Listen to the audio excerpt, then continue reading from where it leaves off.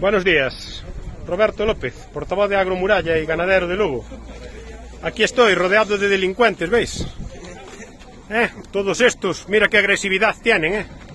Estos que fueron los que llevaron el papel higiénico en la pandemia, estos que no tenían donde tomar café ni donde mear.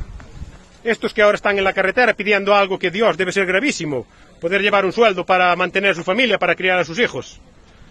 Y que por desgracia no tiene la señora ministra media hora para reunirse con ellos, ni para atenderlos. Son tan pocos, ¿verdad? Son muy pocos, ¿eh? Muy pocos, sí, sí. Por toda España no hay casi ninguno de estos. ¿Eh? Eso sí, 17.000 policías hay que sacar, ¿eh? Para controlarlos, que deben ser revoltosos de narices, sí. Deben ser del ejército de Putin. Yo os puedo explicar que como ganadero también lo estamos pasando muy mal. Los costes de producción se han disparado igual que los suyos. Nosotros también ponemos diésel en nuestros tractores. Al precio que va es imposible sembrar. Y que os quede una cosa muy clara. Si no sembramos ahora, no recogemos en verano. Y en octubre no coméis pan, ¿eh? Ni coméis pan, ni tomáis leche, ni patatas, ni hortalizas, ni nada de nada. Esto es lo que queremos. El precio de la luz el doble. El diésel el doble. Los plásticos vienen en camiones de Prosegur ahora. Alta seguridad. Los fertilizantes por las nubes. ¿Cómo vamos a sembrar para poder recoger? ¿Qué nos van a vender la moto de que lo van a tener de terceros países? ¿A qué precio? ¿Vamos a ser capaces de pagarlo? Yo dudo mucho que seamos capaces de pagarlo.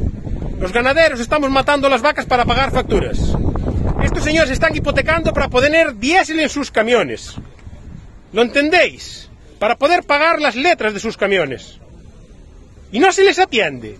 Tan difícil es que se les atienda. ¿Qué tienen que hacer una sentada como el 15M allí en Madrid para verse así molestando en la capital? Estos pueblerinos.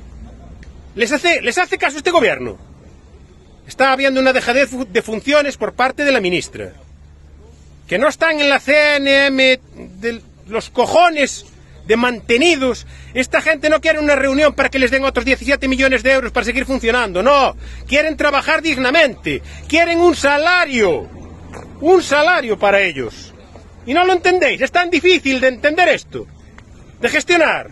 Sí, sí, mandad policía para que lleven convoys. Os voy a dar un consejo, gente de la ciudad. En cuanto llegue ese convoy, comprad. Comprad toda la comida que podáis. Que ya veremos a lo que os dura, ¿eh? Y veremos si el próximo convoy sois capaces de pagar esos precios. Mucho ánimo a todos, compañeros del transporte, ganaderos y resto de gente que debería estar aquí. Porque yo he visto huelgas generales en este país con bastante menos motivo de lo que está pasando ahora.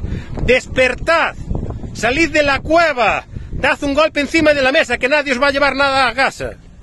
Venga, para adelante, campeones.